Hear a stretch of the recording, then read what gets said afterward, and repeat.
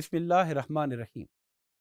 अल्हम्दुलिल्लाह रब्बिल आलमीन वस्सलातु वस्सलामु अला सय्यिदिल मुरसलीन। अज़ीज़ तलबा तालिबात, आज के इस मॉड्यूल में हम अहादीस पाक की चंद मशहूर कुतुब का तारफ़ कराएँगे।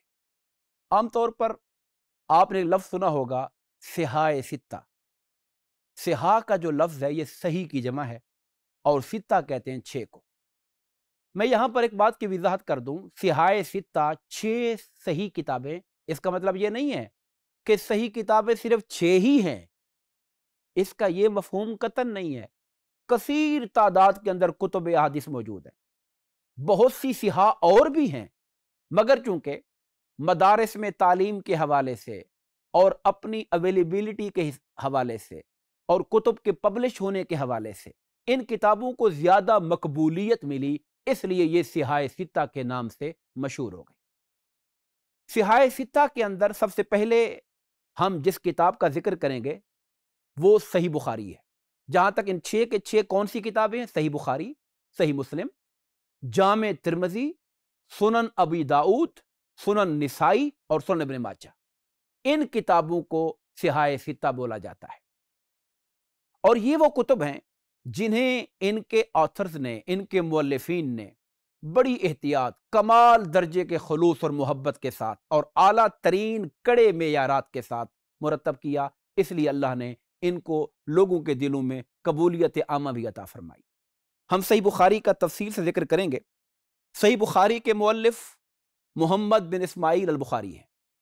आपका तल्लुक बुखारा अजबुकिस्तान के साथ था।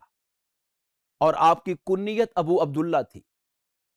आपकी जो विलादत है, आपका जो ज़माना विलादत है, वो एक सौ चौरानवे हिजरी का है। यानी हिजरत के एक सौ चौरानवे साल बाद आपकी विलादत हुई और दो सौ छप्पन हिजरी में आपकी वफात है।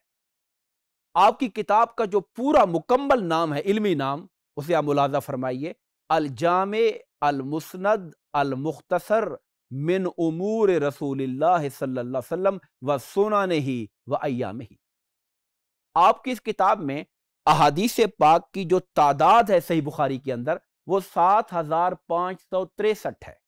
याद रखिए, ये जो फिगर है तादाद का, ये विद रेपिटिशन है। आपको मुगालता ना हो कि रेपिटिशन से मुराद क्या है। आइम्मा हदीस के नज़दीक, अगर एक मतन हदीस कि रावी बदल जाएँ तो हदीस का नंबर बदल जाता है। मसलन एक बात हज़रत अबू हुरैरा ने बयान की, वही बात हज़रत अनस ने बयान की तो आइम्मा हदीस कुतुब के अंदर उसको नंबर टू कर देंगे। अगरचे बात एक होगी, लेकिन चैन और रावी बदल गया, इसलिए उसकी हदीस की नंबरिंग बदल गई। तो पढ़ने वाले को बज़ाहिर यूँ लगता है कि ये हदीस पाक में बार बार पढ़ रहा हूँ, रिपीट हो रही है, लेकिन हकीकत में चूँकि उनकी चेन डिफरेंट हो रही होती है, इसलिए वो नंबरिंग के अंदर उसका नंबर बढ़ता चला जाता है। सही बुखारी का जो मकाम है, दीगर कुतुब हदीस के अंदर सबसे बुलंद है। इसके बारे में कहा जाता है कि असहुल कुतुब बाद किताब इंसानी काविश में अल्लाह की किताब के बाद सही तरीन किताबों में से इस किताब का शुमार किया जाता है।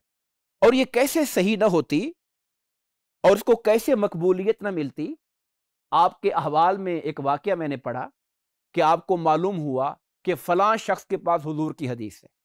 आप उससे सुनने के लिए तवील सफ़र करके उसके डेरे पर पहुँचे। तो आपने देखा कि उसका घोड़े की रस्सी छूट गई थी और वो अपनी कमीज के दामन को ऐसे उठाकर हिला रहा था ताकि घोड़ा समझे कि मालिक खिलाने के लिए कोई चीज़ अपने दामन में उसने रखी हुई है। आपने करीब होकर देखा तो दामन खाली था। तो आप हैरान हुए कि ये खाली दामन के साथ उस घोड़े को आवाज़ दे रहा है, गोया घोड़े को धोखा दे रहा है। मकसूद खिलाना नहीं, मकसूद बुला के रस्सी बांधना है। इतनी सी बात पे आपने सारे सफ़र की तकलीफ़ को छोड़ दिया और हदीस कबूल नहीं की कि जो शख्स जानवरों के साथ इस तरह का मामला कर सकता है, मैं उसे इस लायक नहीं समझता कि उसे हदीस रसूल ली जाए। सल्लल्लाहु अलैहि वसल्लम। तो ये कड़ा मेयार था जिसकी बिना पर आपकी किताब को इस तरह की मकबूलियत हासिल हुई। दूसरी किताब सिहाय सित्ता में से सही मुस्लिम है। इसके मौलिफ का नाम मुस्लिम बिन अल हुज्जाज कुनीत आपकी अबुल हसन थी, लकब असाकर था। आप 206 हिजरी में पैदा हुए और आपका विशाल दो सौ इकसठ हिजरी का है। आपका इलाका खुरासान के नज़दीक नेशापुर का इलाका था।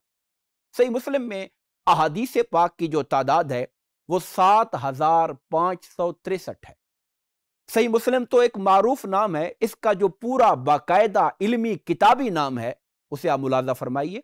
अल मुस्नद सही अल मुख्तसर मिन सुनन, बेनकल अदल अनिल अदल अन रसूल सल्लल्लाहु अलैहि वसल्लम। ये सही मुस्लिम का किताबी नाम है, जो बाकायदा मुकम्मल है। इसके बाद जो अगली किताब है, वो जाम तिरमजी है। ये भी सिहाय सित्ता में इसका शुमार होता है। इसके मुअल्लिफ मोहम्मद बिन ईसा बिन सूरत बिन मूसा है। कुन्नीत उनकी अबू ईसा थी। आपकी विलादत 209 हिजरी में हुई और आपका जो विसाल है, वो दो सौ उनासी हिजरी में है। आप किस इलाके के थे? आप तिरमज नाम का जो शहर था, कदीम शहर था, वहाँ के रहने वाले थे और आपकी किताब जाम तिरमजी के अंदर अहादीस पाक की जो टोटल तादाद है, वो तीन हज़ार नौ सौ छप्पन है। किताब का जो पूरा नाम है, आप उसे मुलाजा फरमाइए। अल जाम अल मुख्तसर मिन सुनन अन रसूल वसल्लम व मारिफत सही है वल मालूल व मा अमल। इमाम तिरमजी ने जाम तिरमजी के अंदर जो खसूसी तौर पर अहादीस की कलेक्शन का अहतमाम किया, आपने उन अहादीस पाक को लिया जिससे फोकहा ने इस्तेदलाल किया। यानी ऐसी अहादीस फोकहा जिसका रेफरेंस दे रहे थे और जिससे मसाइल को अखज कर रहे थे। और साथ आपकी खसूसियत यह भी है इस किताब की कि आपने इस किताब के अंदर अहादीस पर हुक्म लगाया है कि ये जो हदीस मैंने बयान की है, ये किस दर्जे की है? सही ले जाते ही है, ले गए रही है, हसन है या ज़यीफ है? और जो रावी थे, उन रावियों के हवाले से भी आपने कलाम किया। इस तरह आपकी किताब का जो दर्जा है, बहुत ऊँचा हुआ। सिहाय सिता के अंदर एक और किताब जिसका नाम सुनन अबी दाऊद है। सुन अबी दाऊद के मुअल्लिफ सुलेमान बिन अशअस बिन इसहाक सजिस्तानी है। आपकी कुनियत अबू दाऊद थी, इसलिए किताब सुनन अबू दाऊद के नाम से मशहूर हुई। 202 हिजरी में पैदा हुए और 275 हिजरी में आपने वफात पाई। आपका इलाका सजिस्तान था। ईरान का जो मौजूदा शहर सीस्तान है, ये पहले सजिस्तान कहलाया करता था। वहाँ से आपका ताल्लुक है। सुन अबी दाऊद में अहादीस पाक की जो तादाद है, वो पाँच हज़ार दो सौ चौहत्तर है। आपने इसका नाम सुनन रखा। सुनन की तारीफ़ हम पढ़ चुके कि जिसके अंदर प्रैक्टिकल लाइफ, अहकाम से मुतालिक अहादीस पाक को तरतीब के साथ लिखा जाता है। इसलिए इसको सुनन कहा जाता है। आपकी इस किताब के अंदर सही के साथ साथ हसन और ज़यीफ अहादीस भी इसके अंदर जमा है। अहकाम से मुतालिक थी, आपने उसका ज़िक्र अपनी किताब के अंदर किया। और यह भी कहा जाता है कि आपको पाँच लाख अहादीस आपके पास मौजूद थी, जिसमें से आपने इन अहादीस का इंतखब किया और अपनी किताब के अंदर उसको जगह दी। इसके अलावा जो अगली किताब है सियासिता में, उसका नाम सुनन अनसाई है। सुनन अनसाई के जो मुअल्लिफ हैं, उनका नाम अहमद बिन शुएब है। आपकी कुन्नियत अबू अब्दुलरहमान थी 214 हिजरी में आप पैदा हुए और 303 हिजरी में आपका विशाल हुआ। तुर्कमानिस्तान के इलाके निसा के आप रहने वाले थे और आपकी जो किताब है, उसके अंदर जमा करदा अहादीस की जो तादाद है, वो पाँच हज़ार सात सौ इकसठ है। इसका मुकम्मल नाम मुलाजा फरमाइए। इसे बाज लोगों ने अल मुजतबा मिन सुनन का नाम दिया और बाद ने असुनन सुगरा निसाई का नाम दिया। आपने भी सही असनाद वाली रिवायात का इंतखब किया। असानीद और मतून के अंदर रुवात का जो इख्तलाफ था, उस इख्तलाफ का ज़िक्र किया।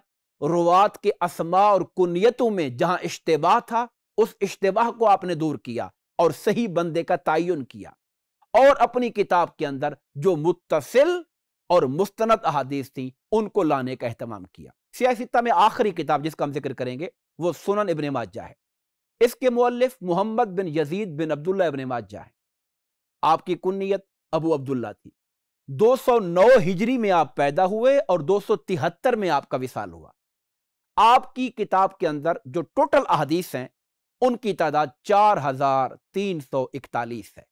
आप इराक के इलाके कुजवीन में पैदा हुए और दीगर कुतुब सुनन की तरह आपने भी इसकी जो तरतीब थी, फिकही एतबार से अहकाम की तरतीब के एतबार से रखी। इसीलिए इसका नाम सुनन रखा गया था। ये इसके अंदर भी अहादीस सहिया के साथ साथ जो हसन और दीगर दर्जों की अहादीस थी, आपने उनको भी अपनी किताब के अंदर जमा फरमाया। और अपनी तरतीब के अतबार से हदीस को तलाश करने के हवाले से अब तो सॉफ्टवेयर आ गए। तलाश करना मुश्किल नहीं रहा, मगर पहले ज़माने में जब बगैर किसी सॉफ्टवेयर के अहादीस को ढूंढा जाता था तो ढूंढना बड़ा मुश्किल होता था। आपकी किताब में ढूंढना इसलिए आसान था कि आप उसका जो बाप बनाते थे, उसका जो नाम रखते थे, वो बहुत रेलिवेंट होता था हदीस के मफहम के साथ। इसलिए उसको ढूंढना आसान हुआ करता था।